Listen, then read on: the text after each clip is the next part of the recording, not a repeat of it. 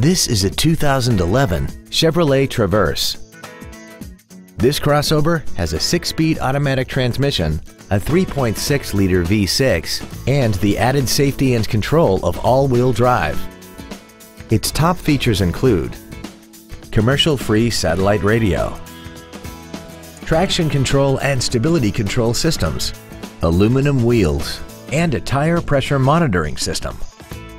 The following features are also included. A multi-function display, air conditioning, cruise control, a leather-wrapped steering wheel, rear curtain airbags, rear seat child-proof door locks, a pass-through rear seat, steering wheel mounted controls, full power accessories, and this vehicle has less than 61,000 miles.